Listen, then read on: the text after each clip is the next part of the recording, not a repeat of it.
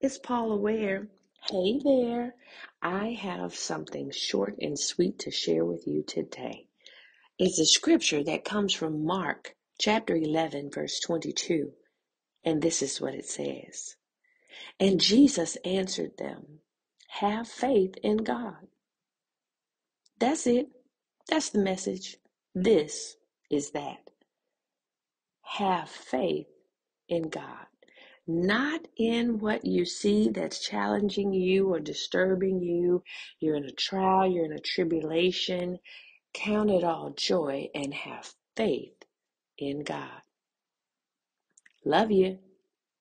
Don't forget to like, click the notification bell, leave a comment, share, and subscribe.